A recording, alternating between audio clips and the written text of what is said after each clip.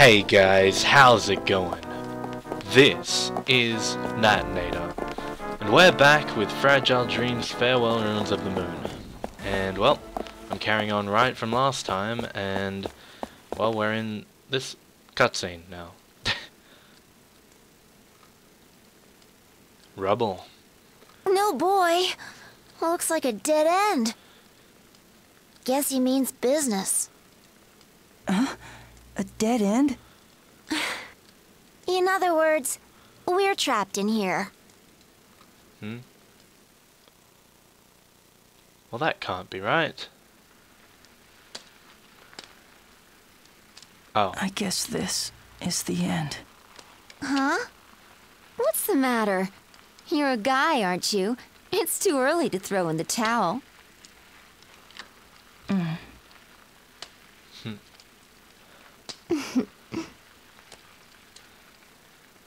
oh, I know. What is it? Would you. Um. Well, would you like to hear my story? oh my god, I hope she'd say that. Sure. A long time ago. Long ago, there was a brilliant scientist who discovered, well, the secret of interaction. That is, how humans connect emotionally. The hidden ability to communicate without words.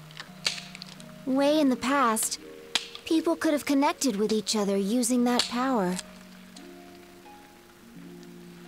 So a bunch of really smart scientists got together to study the idea. They thought if they could reawaken this power in everybody, we wouldn't have to use words to understand one another. They concluded that it'd make the world a better place. There were wars at that time. People argued and fought over little things and big things alike. Everything was a point of contention, and people grew tired of it. The whole world was unanimous in supporting the project. Using a machine they called Glass Cage, humans sent a signal around the world to try and trigger the latent empathy faculty in people's heads.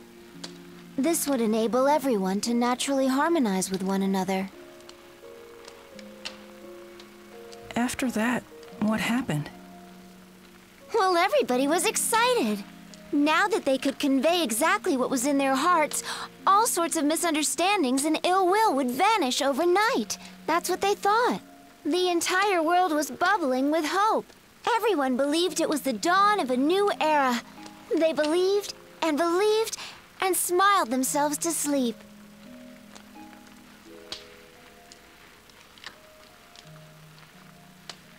Uh, but then the next morning no one woke up. They slept and stayed like that forever. That's how they all died.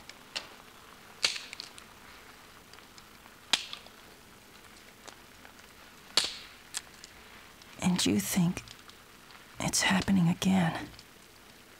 Yeah. That girl? She's gonna be the catalyst for it. Catalyst? Her heart will make the connection. And connect with everybody else on Earth. If it succeeds. What if it doesn't work? I told you. It'll be worse this time. Not a single soul will escape.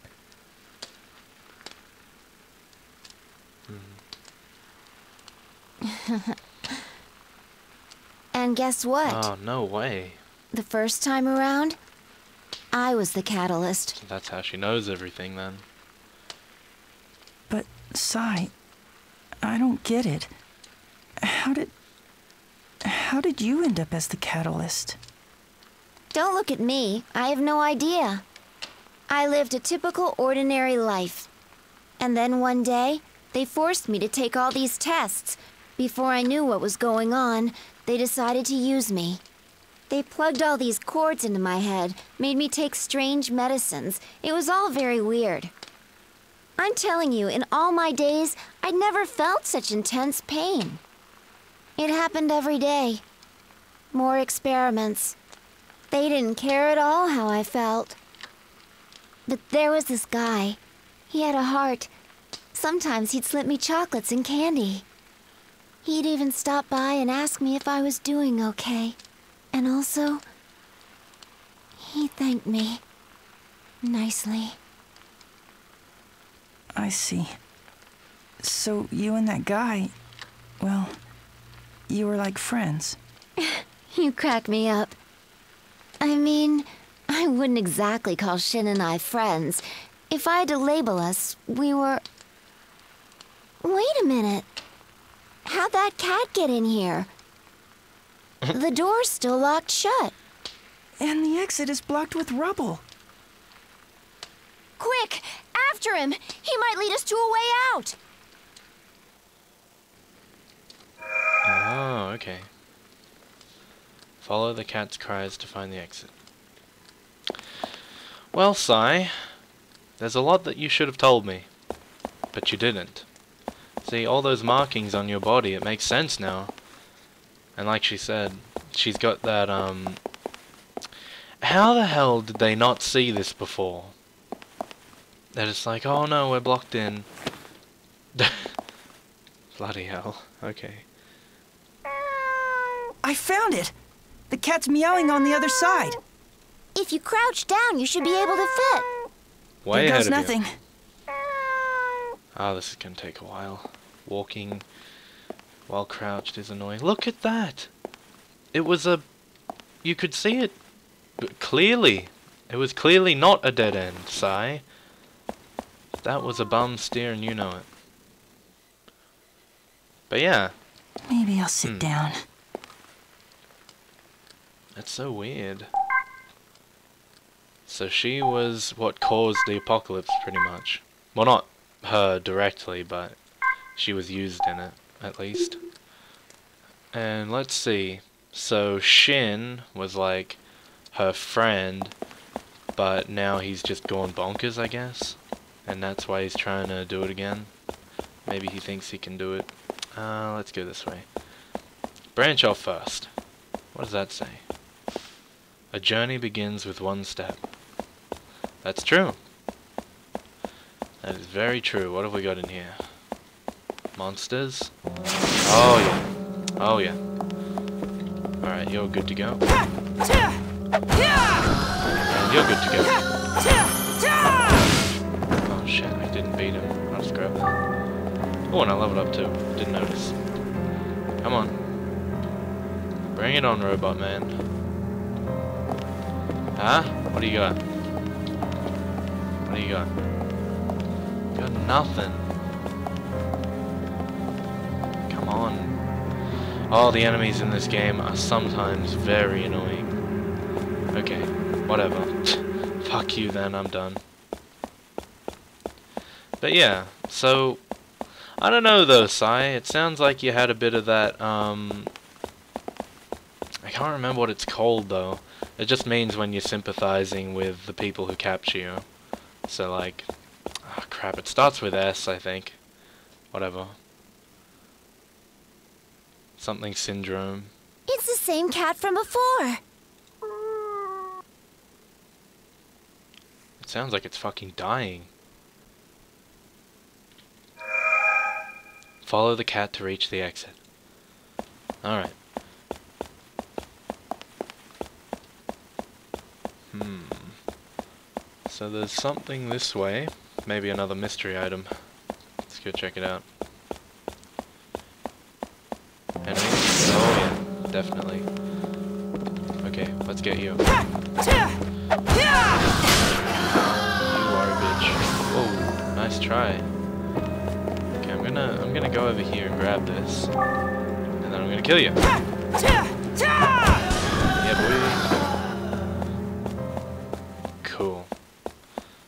Well, that was a lot better than the last one, at least. Okay. Um, hallways. And more hallways. Whoa, whoa. Fucking Seto, calm down. There he is!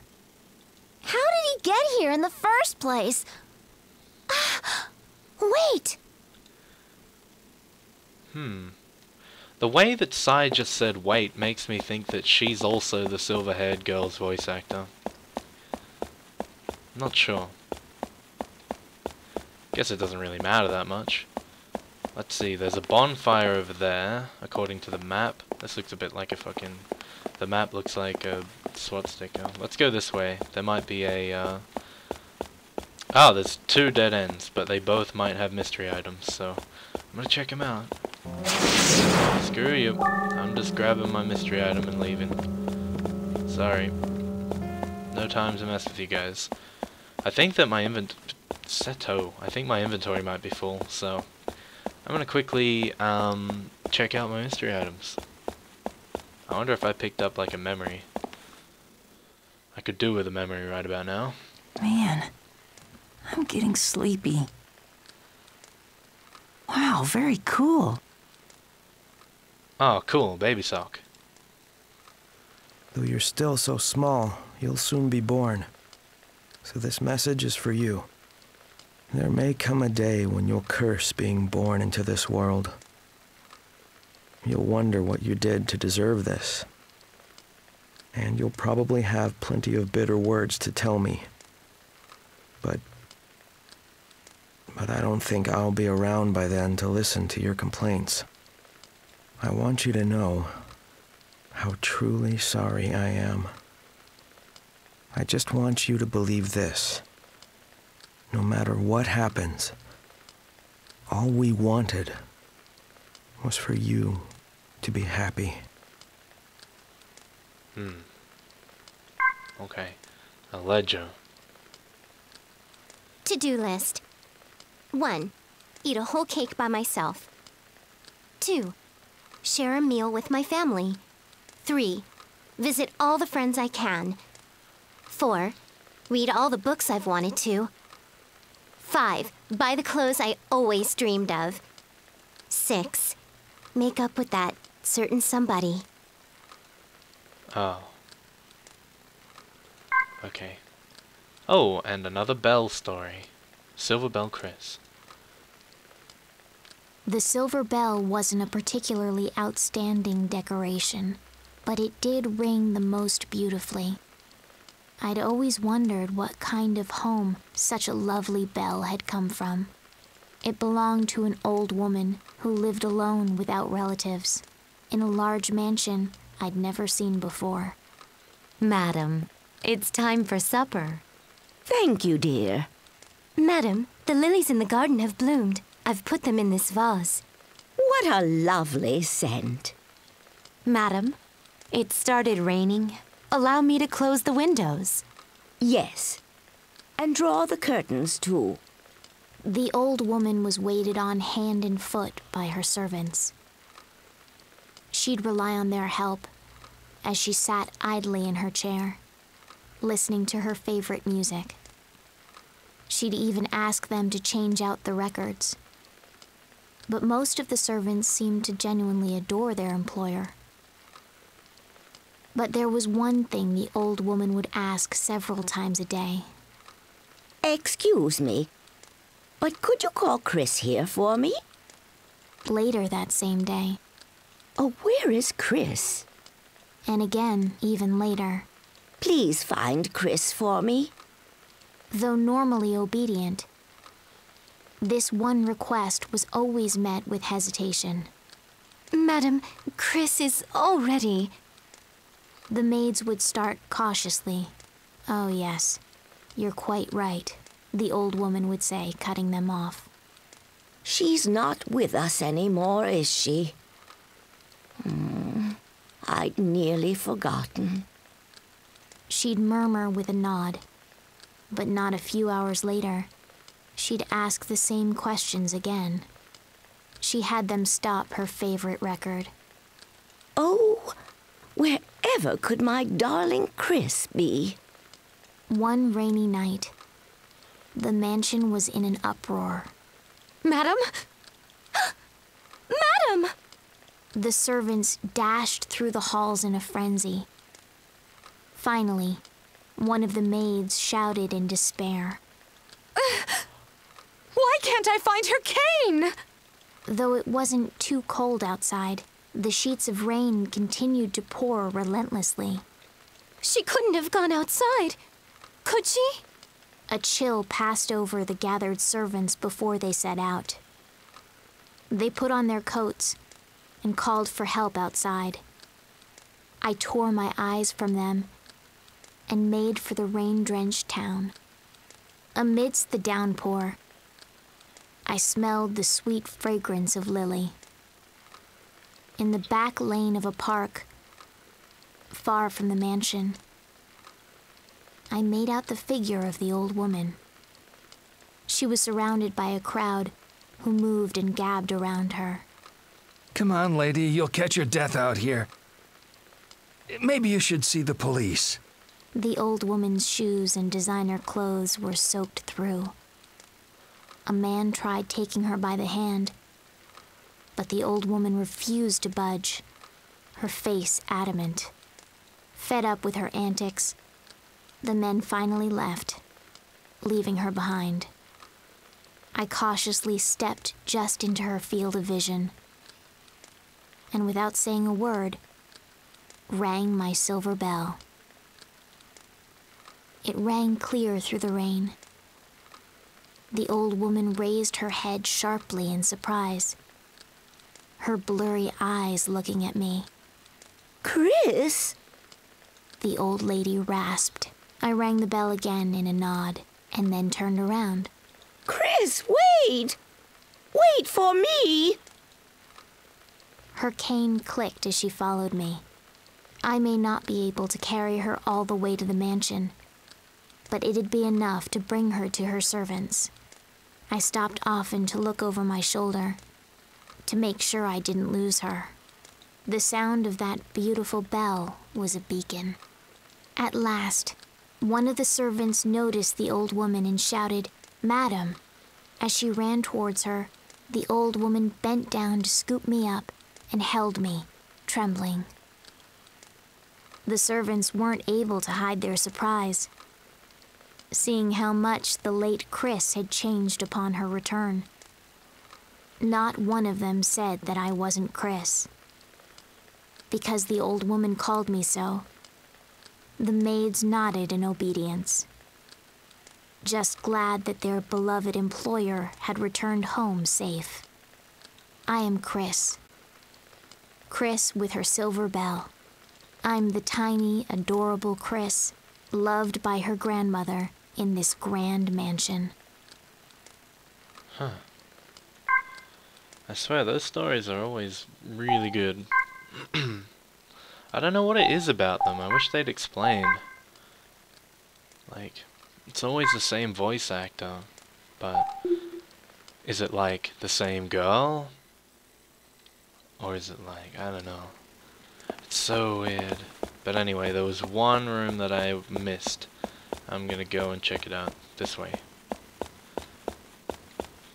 Yeah, it's just... I don't know. I like them. I don't know if anyone else likes them. But... Oh boy. There's nothing in here.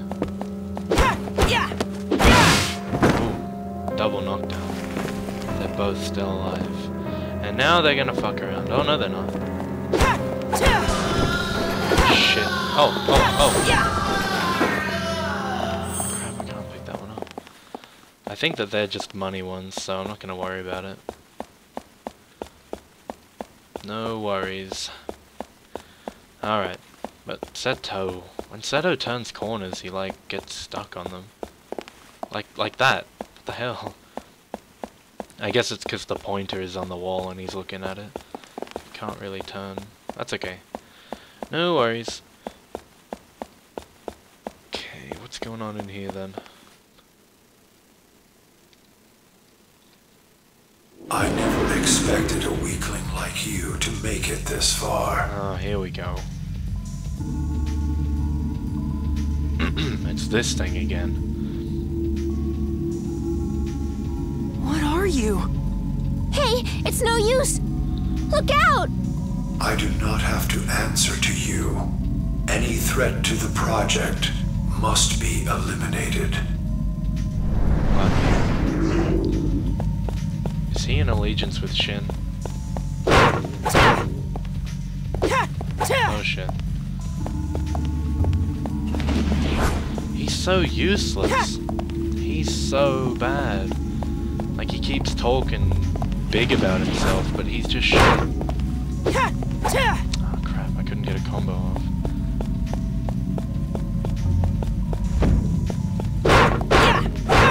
Wish that you were good, but you're just crap.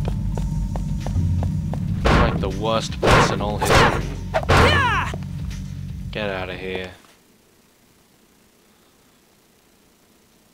Fool. Your existence amounts to nothing more than a goldfish swimming upriver. When we were conceived, the age of man ended. What? What are you talking about? Our plan is on schedule. Make the most of the little time you have left. Wait. Were they created by this We have to glass act cage fast. thing? Right. Maybe they were. I have no idea. It looks like we have to go down this way, so I'm all out of time for this episode though, so I'd like to thank you guys for watching. I hope that you are enjoying this series, and well, I'll see you guys in the next piece of shit that I upload, so stay tuned for more.